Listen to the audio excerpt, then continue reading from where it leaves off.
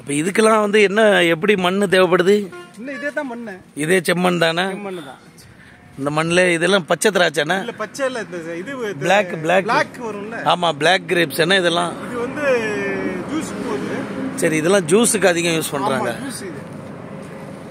இதுல வேற ரெண்டு மூணு வெரைட்டி வரும். இந்த இதுக்கு தண்ணி எல்லாம் எவ்வளோ தேவைப்படுது?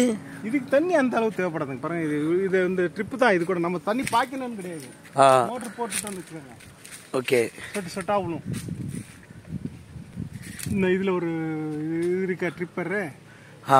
இது சரி சரி சரி. அப்படியே சொட்டு சொட்டு ஆகணும் தண்ணி அவ்வளோதான் ஆனால் இது வந்து இதுக்கும் மண் வந்து இப்படி தான் மண் தான் வேணும். ஆ. நம்ம கருப்பு மண்ணில் இதெல்லாம் விளையாது. கருப்பு மண்ணுனா மழை பெஞ்சிட்டுன்னு வச்சுக்கோங்க. ஆ. ஆறாது சீக்கிரமா. இது எத்தனை ஏக்கர் இருக்கும்? இது கம்மினா கூட ஒரு ரெண்டு ஏக்கர் இருக்குங்க. நீட்டம் கம்மி இருக்குல்ல. ஒரு ரெண்டு ரெண்டே கால் ஏக்கர் இருக்கும். ஓகே ஓகே ரெண்டே கால் ஏக்கர் என்ன